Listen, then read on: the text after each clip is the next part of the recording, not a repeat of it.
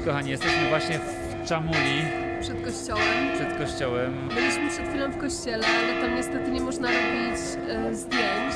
Ale to, co się tam dzieje, jest po prostu nieprawdopodobne. To jest totalna magia. Wszędzie kłęby dymu od kadzideł, kobiety chodzą z kadzidłami, skrzynki z kośćmi zmarłych, które stoją na ołtarzach, mnóstwo świec.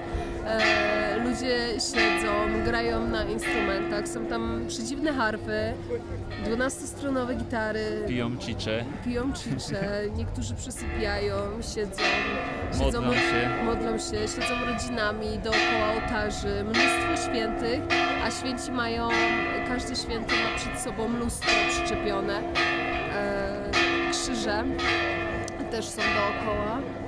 Mnóstwo kadzideł, e, no i oczywiście jest Coca-Cola.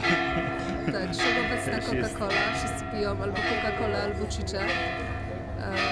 E, są ubrani w białe i czarne kożuchy i no magia, magia.